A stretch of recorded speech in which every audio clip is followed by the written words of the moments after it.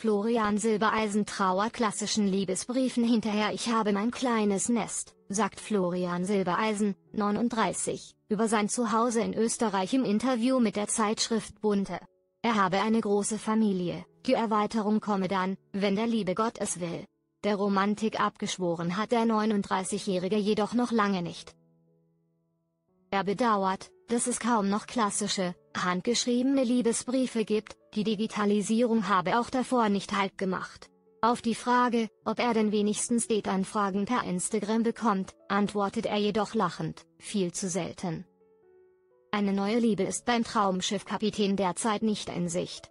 Mit seiner Ex-Freundin Helene Fischer, 36, hat er jedoch regelmäßig Kontakt. Unsere gemeinsame Zeit wird uns immer verbinden, sagt er im Interview. Jetzt bereitet er sich erst einmal auf seinen 40. Geburtstag vor. Da lässt er es so richtig krachen. Der Jubelfest wird ganz in Schlagermanier mit einer Live-Show in der ARD gefeiert. Am 14. August kann also jeder mit dem Sänger bei der großen Schlagerstrandparty zum Geburtstag feiern.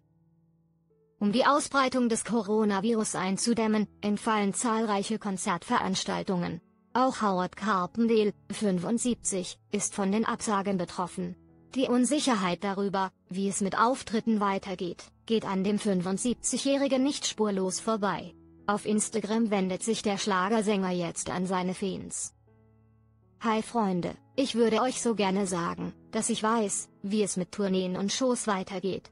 Aber bisher gibt es keine klare Information seitens der Politik.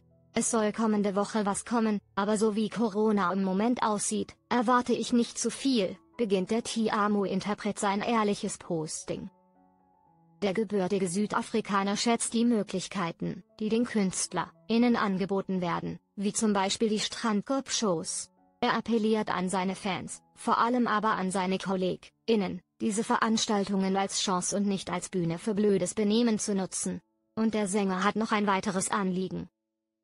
Angeblich steigert sich die Zahl unangenehmer Betrüger in den sozialen Medien. Ich sage euch ganz klar, wenn mein Name dabei steht, muss ich nicht zwangsläufig der Autor sein. Ich schreibe niemanden persönlich an und bitte euch auch um nichts. Gebt bitte also nie eure privaten Informationen weiter und seid vorsichtig, mit wem ihr bei Facebook und Instagram korrespondiert, warnt er seine Fans.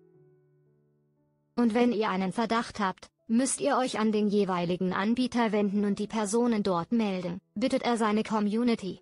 Ich kann leider nichts für euch tun, macht Howard Carpendale den User, innen klar.